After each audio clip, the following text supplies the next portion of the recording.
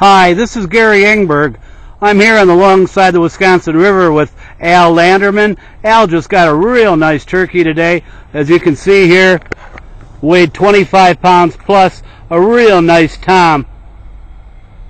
Al, today was the opening of the third season in Wisconsin. Why don't you tell me the little story you just told me? All right, I, I happened. I had I was sitting in my blind along this woods by the open field, and I they've been uh, quite a bit this morning. And I heard the one behind me and off to my right.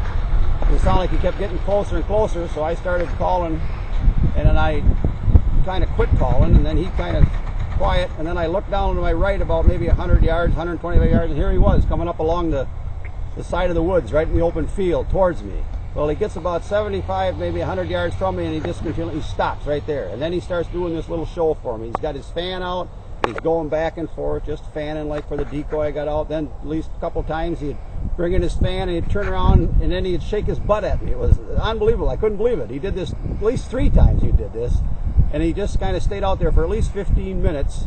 And then I kept calling a little bit. Then he'd answer me, and then about that after that, I called another little bit. And then he decided to come, and that's when he come right into the decoy. Then, and then that's when I shot him after he come into the decoy. You just had one decoy out? Yes, just one.